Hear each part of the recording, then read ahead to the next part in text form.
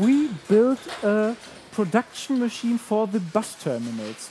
What this machine is all about and why we did build this machine is something which we would like to convey to you right now. But first, I would like to have a short look on the motivation for us to build such a machine.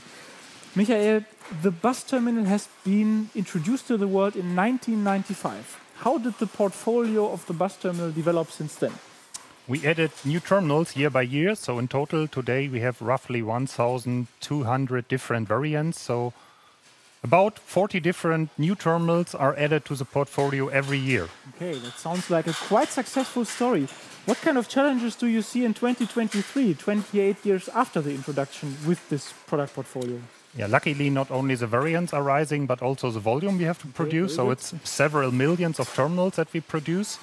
But we do not only have high runners, which we produce in hundreds, thousands a year. We also have low runners, a couple of hundreds a year. And these high mix, low volume production needs to be addressed in our production. Okay, this means we had to rethink this topic high mix, low volume production a little bit. And the result of this rethinking is what you are seeing right behind me. Michael, maybe you can give us a hint. What are we seeing here? We see a next generation production line. Okay. And what is this machine actually doing with the bus terminals? Wir müssen ja immer dem Wachstum. We always have to keep up with growth every year, so we have developed a testing and programming machine that can easily cover 80% of our portfolio. Okay, so this means 1,200 different bus terminals, and all of them, or the majority of them, can be tested and programmed on this machine. All the bus terminals look, for me, as an yeah, outsider to the bus terminals, a little bit the same. So they are internally different, is that right? Yeah.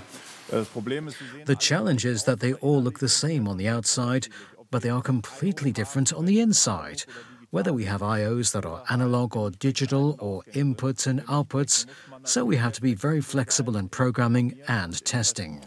So each and every terminal gets a specific firmware flashed on the device, and then we test, of course, specific to the needs of this specific hardware software combination. Yeah. But that sounds super flexible, but flexibility always takes time, I think. So how many bus terminals do we produce? Ja, wir programmieren und testen. Yes, we program and test a terminal in three seconds by running these processes in parallel, which means we have an output of 1,200 bus terminals per hour. Three seconds per terminal sounds a little bit abstract, but if you think about it, that's 1,200 units per hour.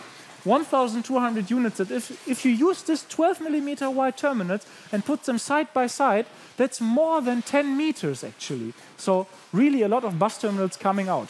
And luckily, the automation of this machine is done with Beckhoff technology. And for me particular, the best thing about the story is that the Xplanar system is used to transport the products through the entire manufacturing flow.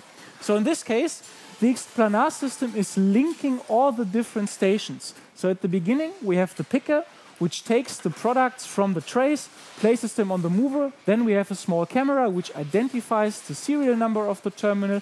And then each of the terminals is sent to the programming stations. At the programming stations, the terminals get a specific firmware flashed on them. And afterwards, it goes directly to the test station. And the system really benefits from the Xplanar. So the 2D movement of the Xplanar movers enables us to completely decouple the flow of the products. So it doesn't matter if a certain terminal needs 20 seconds in the programmer and 30 seconds in the testing station. The other ones are just driving by. Furthermore, we are also able to replace a little bit of handling system with the Xplanar. So the Xplanar system is, for example, in the testing station, handing over the terminal into the station. So what usually is done by a robot is done here with the Xplanar.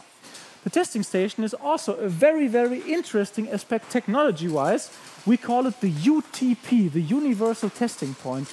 And Martin, you are our special specialist for measurement and for testing. What can you tell us about the UTP? Yeah, we have here this cabinet. Um, it consists of 16 independent channels. Uh, we can each channel configure to the terminal that is uh, connected here to the UTP. And uh, we use here in this UTP only Beckhoff ELM3 uh, measurement terminals as reference devices for all digital and analog tests that we do here. And uh, that is the right choice because we have them connected over EtherCAT, we have an absolute high sample rate, and we have a high accuracy. So the right measurement device choice for such a job here in this high-speed adjustment. So this is all the hardware required to test a product portfolio of 1,200 different terminals, right? In such, such a small cabinet. Uh, exactly, and we can uh, uh, change the configuration here in the speed of the complete machine. So uh, we can here make in one piece by piece different configurations. We are using here the ELM, ELM37 multi-interface terminal, so we can switch from voltage to current. Everything that the terminal needs that is connected here on the Xplanar system. Okay, so super flexible measurement technology, super fast switching, and low space requirements. Thank you, Martin. Um, but now you might ask, why do we do this? For sure, it's a nice demo case, but Michael, again, if I would desire to buy such a wonderful terminal like the EL1008, what are the benefits which I have from such a machine? First of all, we can produce the high volumes needed by our customers. Mm -hmm.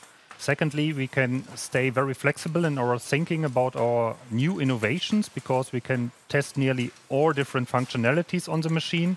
And third, we even increase the quality because we test more points on this machine than we did before. I think this is a wonderful sentence for the end of this small video from our IO production facility.